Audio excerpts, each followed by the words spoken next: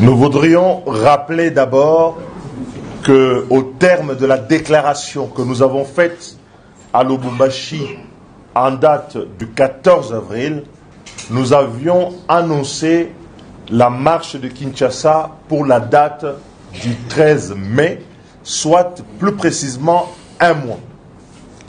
L'hôtel de ville de Kinshasa, l'autorité urbaine, est restée silencieuse, sans donner de nouvelles, jusqu'à ce que une nouvelle lettre le saisissant de cette marche lui ait été communiquée en date du 8 mai,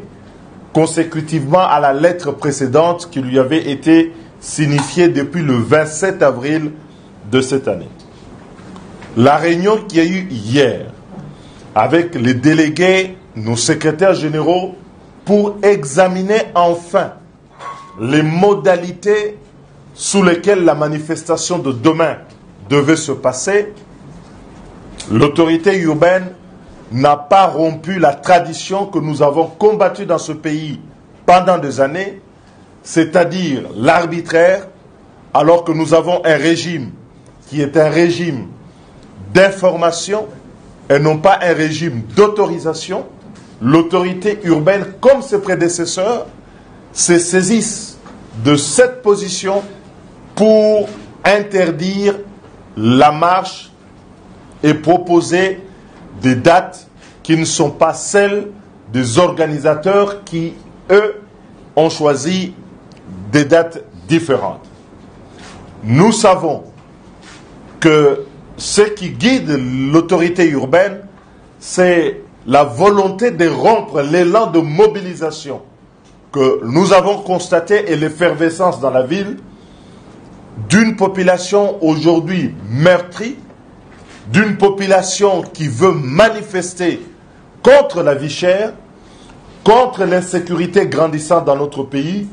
et contre un processus électoral chaotique et frauduleux. Face à cette mobilisation, l'autorité urbaine qui a minimisé au départ n'a eu d'autre recours que d'interdire la marche. Et sur quelle motivation est-ce qu'il y a eu cette interdiction? On évoque la sécurité. On évoque la sécurité dans une ville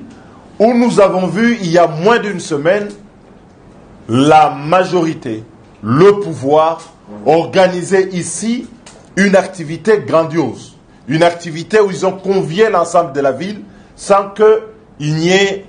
un quelconque incident pouvant attester aujourd'hui qu'il y a une tension dans la ville. Aussi, nous voulons rappeler que toutes les marches qui ont été organisées par l'opposition au cours de ces derniers mois n'ont donné lieu à aucun incident de la part de ces organisateurs. Face à cette situation, nous avons maintenu donc la marche qui, devait, qui doit se dérouler demain à la date du 13, mais conscient, étant à l'écoute de nos bases politiques qui disent de ne pas verser dans le piège de l'apologie de la violence où le pouvoir veut nous amener, à savoir on interdit les marches, on réprime et on va tuer les citoyens et ainsi démobiliser pour chanter que l'opposition n'est pas là. En toute responsabilité, nous avons décidé de notre propre chef. Et nous n'accepterons pas un nouveau dictat de la part de l'autorité urbaine que la marche va se dérouler le samedi prochain, c'est-à-dire à la date du 20 mai ici à Kinshasa. Nous en appelons donc à tous nos militants,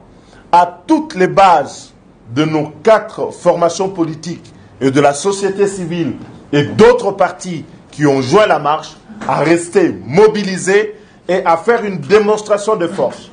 à pouvoir être là pour dire que nous sommes contre la vie chère dans notre pays,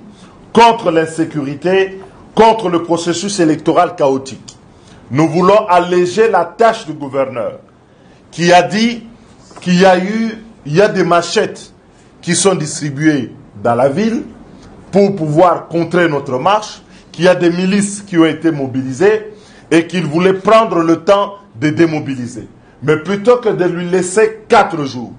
nous lui donnons une semaine pour qu'il puisse le faire en toute responsabilité. Mais en tant que responsable, au bout de ce délai, nous n'accepterons pas que la marche puisse être empêchée et que tous les Congolaises et Congolais, les jeunes, les vieux,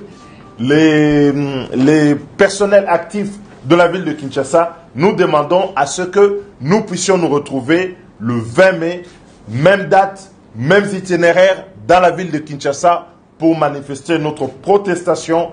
contre la vie chère et manifester aussi contre l'insécurité à l'Est entretenue par le gouvernement actuel et manifester contre le tripatouillage électoral ou la fraude électorale organisée dans le cadre du processus mené actuellement par la CENI.